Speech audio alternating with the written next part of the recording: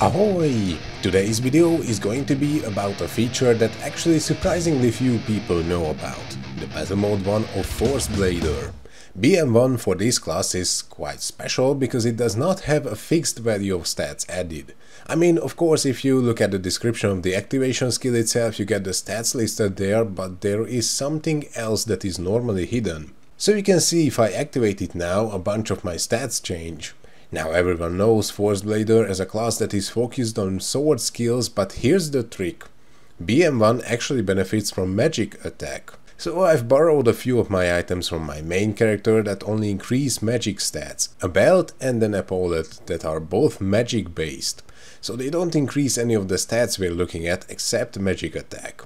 Now after restoring my SP to 5 bars to make sure every other stat is the same, let's equip those items and see the difference.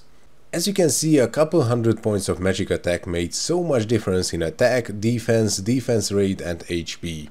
And the best news yet is you only have to be wearing those items at the time of activation. Once your BM1 is on, you can swap them back to sword items and enjoy the benefits.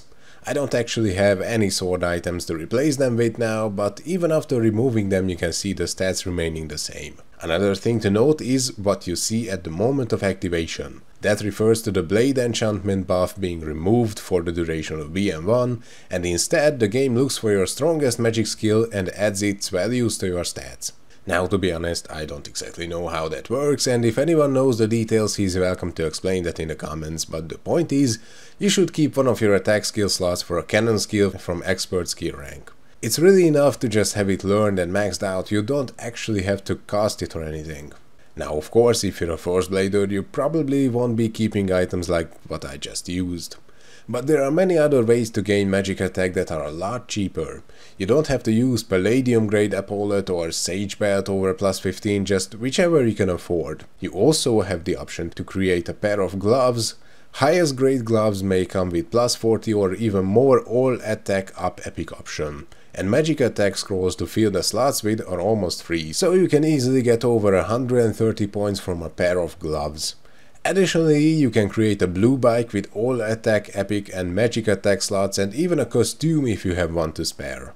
And finally, you may be asking why anyone would use BM1.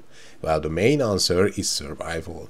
I mean, come on, my character is level 178 and doesn't even have any real armor on it, and in BM1 it already reached over 13,000 defense rate.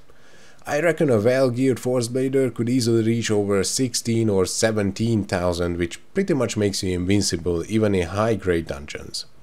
So I hope this video helps all the Force Blader players.